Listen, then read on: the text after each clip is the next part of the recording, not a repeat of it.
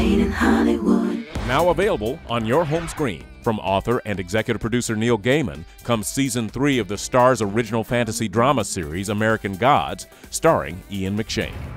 Hello, I'm Neil Gaiman. I wrote the novel American Gods, and now I'm an executive producer of the show American Gods.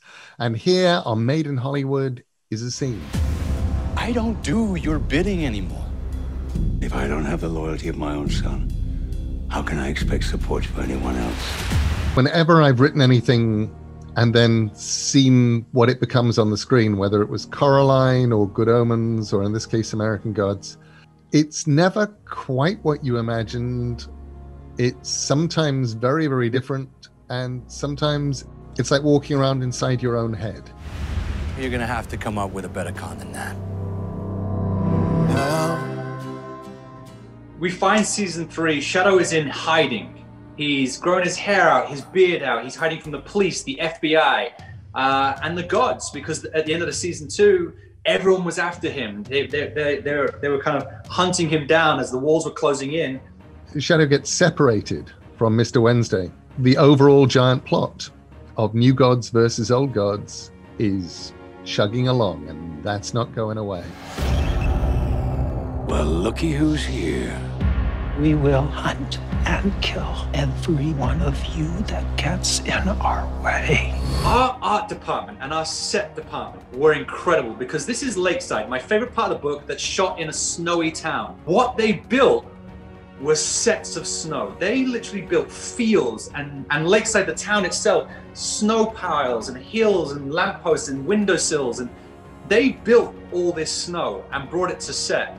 When you have Shadow wandering around Lakeside, this little Wisconsin city in the frozen winter, yeah, this is this was the thing I had in my head. Here it is, and it's playing out in front of us, and that is such a very, very strange and powerful feeling. We have to fight! Much more than this. It doesn't solve anything. War only brings misery and death.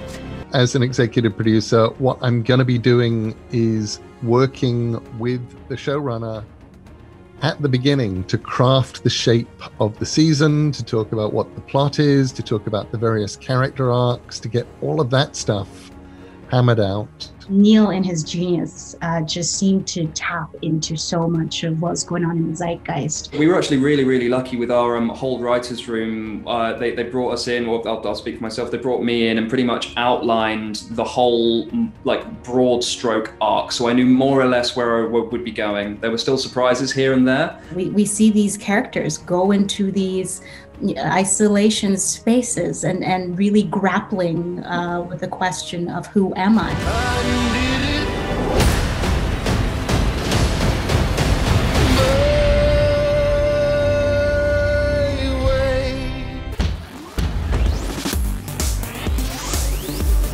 Hollywood. Guys, thanks for checking out this video. We want to know what would you have asked? Let us know in the comments below. And if you liked this video, don't forget to hit the like button. And as always, for more videos like this, hit the MIH TV logo right here. And for the next awesome video, click right there.